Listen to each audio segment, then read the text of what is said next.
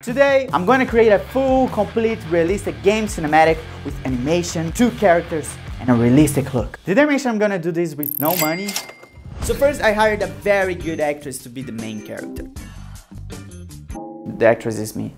Anyways, the costume was actually pretty good and a friend of mine created it for me, but for some reason, wasn't looking like the character. I, I don't know why, honestly. Oh, I know what it is. It's the smoke. I don't have smoke in the shot. So with that problem fixed, I just need to record some shots of me doing some movements. And it was done. Looks good, right? I just need to tighten my waist a little bit and it works, okay? It's, this is good enough. I'm gonna recreate it in 3D and animate it afterwards. Okay. For the 3D, I started by scanning my face and I actually was my mom. And this was the result. Yeah, I guess good enough for now. And to help me finish the rest of the body, a friend of mine helped me creating a perfect, true-to-life version of my body in 3D. Wait, wait, wait, wait, wait. I, I don't, I don't. Thanks, man.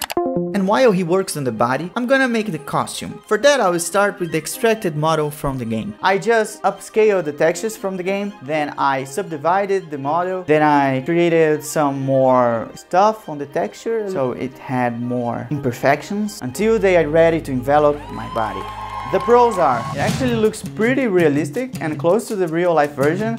And the cons are, it actually looks pretty realistic and close to the real life version. And that has to look less like me. That's why I love 3D. You can make me look exactly like you want. This is exactly how I look in real life. Or even transform me into a female version of myself that actually looks good and with makeup.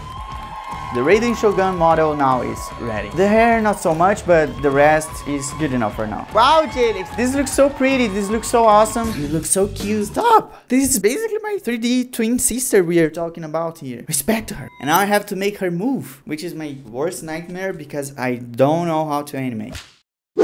Hey Dollary, can you please help me doing a 2D animatic for me to use as reference for the 3D animation? Yeah, man, no problem. Oh my god, this is perfect!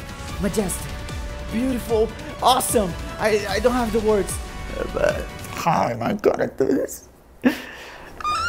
I started recording some references for the 3D animation. And using this, I created the first rough animation in 3D. I know, low quality robots, but hear me out. It already gives you an idea of how it's gonna go. But luckily for me, Genshin Impact already have a bunch of very good animation for me to use as reference. So I just have to open the game and wow. And look how beautiful everything looks. There's no way I'm gonna recreate this whole environment. It's it's, too big. So playing the game, the first thing that I have to show you is the elemental combat system. And you can combine different elements to get special damage from different combinations and fighting styles. And Raiden has electro damage, which will be very important later. And exploring the world of Teyvat, you can climb, swim, glide, and even farm and go fishing on this now even bigger map. And if that wasn't enough, Genshin is getting a new update.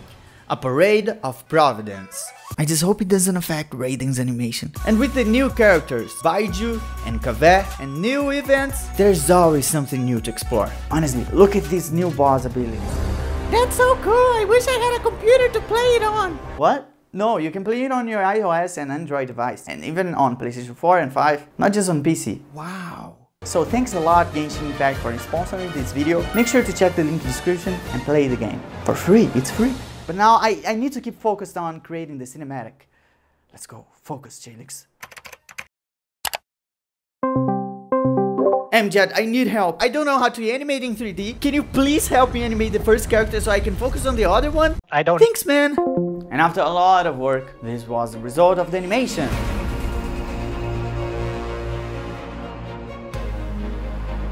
Oh, wait. Raiden Shogun has a spear and I only have a sword. I guess I know how to fix that. Reuse these parts of the sword, vert them, prolong them, and extrude here and there, and adjust the textures. And that's it. I have a spear now. They are bald because my computer was trying very hard not to explode and Blender trying very hard not to crash. And now for the most satisfying part, 3D simulation. I created the hair system and then simulated to make it realistic and have a lot of movement when the powers start. It did work after some time. But about the clothes, I faced a little issue when she tried to walk Her clothes just fell off. Yeah, not ideal since we really wanted this video to be family friendly.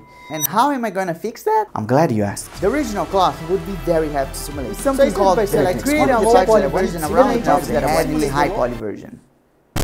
So now it works real time and it's um, I think it was worth it. I don't know. And I did the same thing for the transformed version six times instead of just two. So now we got the hair, the dress, the cape thing, and I still functioning computer.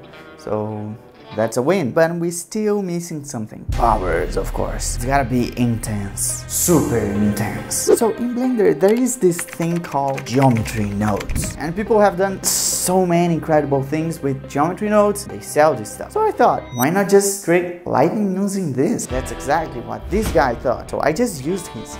I just have to set some things up and that's it, lightning. The problem is, the way that I wanna render this shot is using Eevee. The thing is, lightning wasn't actually lighting anything. The solution for that was scattering a bunch of different lights on the surface of the lightning using geometry nodes. This was the result uh, more light. Just add some particles and some leaves falling. And also the last thing is that we need fog. Now it looks much better. And the environment was the, actually the most complicated part. It was a plane with a noise modifier and a noise texture to it. Finally, finally, finally, time to render. And rendering is just press this button. And it will work, right?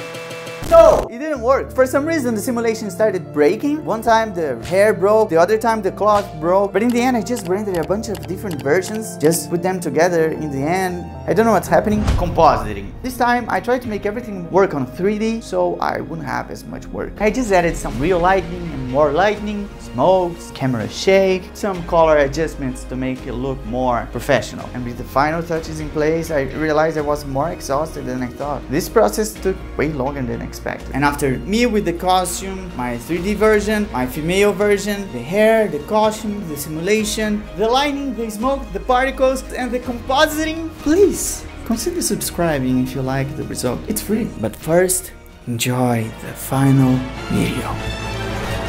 Let this be our final duel.